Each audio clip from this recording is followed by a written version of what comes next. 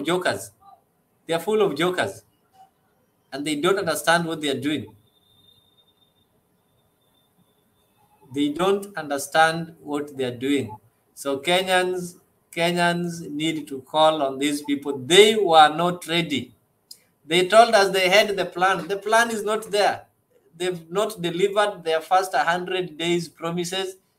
They are not yet going to deliver the, the, the five year promise. So we need to tell them that uh, as Chaka Chaka normally tells us, mbuzi pewe mwenyewe. Mwenye mbuzi apewe.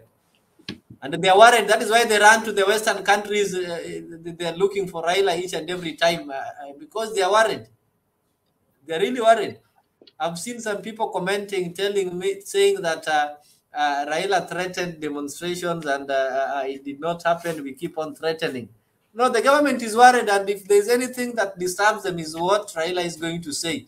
Raila have not been talking, but with them each and every meeting, each and every Sunday, the sermons have been turned into the gospel of Raila Odinga, the gospel of Amolo, the gospel of